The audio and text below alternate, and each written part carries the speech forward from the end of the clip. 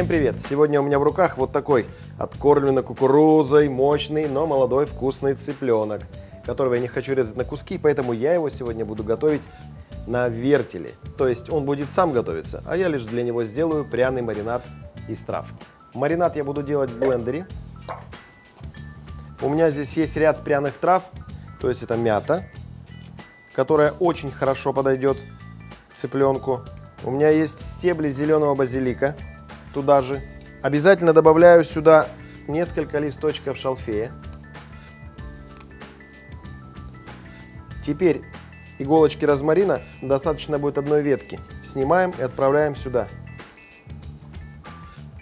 Не забываем про тимьян. Тимьяна можно не жалеть. Травка очень ароматная.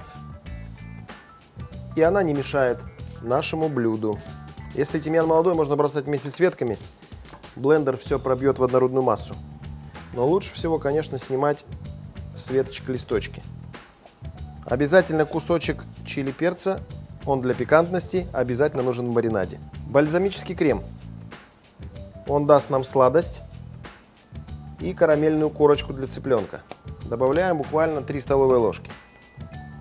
Для цвета обязательно немножко куркумы. Я делаю все на глаз, потому что маринад проникнет у нас только частично в курицу, поэтому можно здесь не переживать. Черный перец и соль по вкусу. И соли побольше. У нас же должна быть курица соленая. Если мы маринуем курицу, то это, конечно же, чеснок. Причем я сюда отправляю целую головку. Я раздавил зубчики, вытаскиваю из шелухи и отправляю сюда в блендер.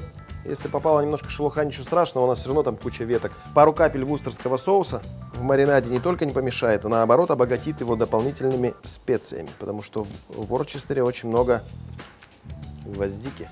У меня в холодильнике завалялись вяленые помидоры, немножко оливкового масла от помидор. Сделает наш маринад подходящим для того, чтобы его можно было обмазывать. Закрываю и перемалываю.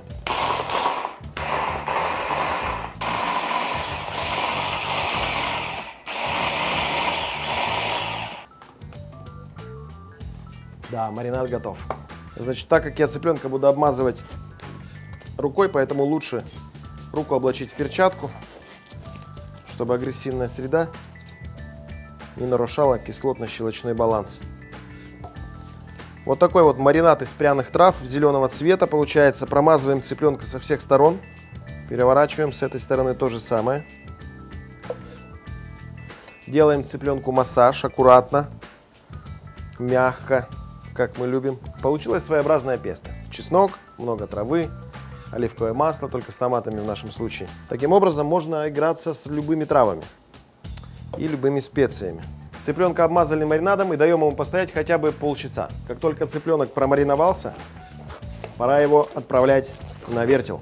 Но так как синие перчатки у меня кончились, поэтому будут черные. Ну, цыпленок, держись. Ослабляем верхнее крепление, снимаем его и вот таким образом протыкаем. И ноги зажимаем вот этой вилкой. С этой стороны мы одеваем зажим и можем даже немножко проткнуть, чтобы цыпленок плотно, комфортно держался на вертеле во время вращения и никуда не падал. У него не должно ничего отваливаться. На задней стенке духовки существует заглушка. Я ее открываю, вставляю вертел.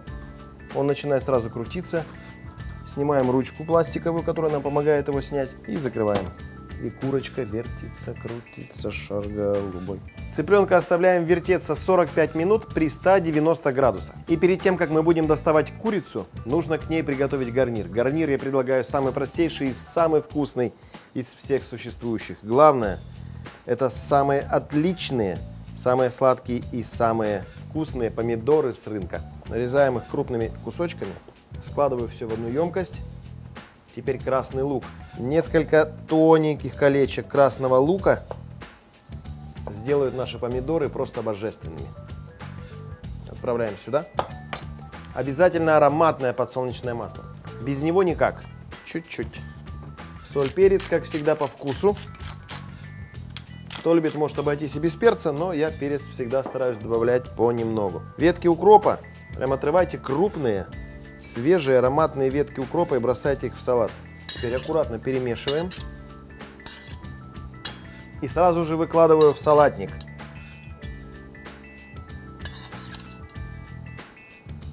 Просто потрясающий аромат, потрясающая картинка, фиолетовые кольца лука, зелень укропа, вкуснейший сладкий узбекский томат – это то, что должно стоять вместе с зажаренной красивой курочкой. И теперь самый ответственный момент – цыпленок. Ой, посмотрите, какой он шикарный, великолепный, с корочкой. Все металлические предметы нагрелись, поэтому нужно воспользоваться салфеточкой. Теперь на доску я постелил пергамент и отправляю цыпленка. Красивого, вкусного, зажаристого прямо сюда. Цыпленок зажаренный на вертеле с хрустящей корочкой. Сладкие томаты с ялтинским красным луком. Что может быть вкуснее на столе? Медея, почувствуй себя дома.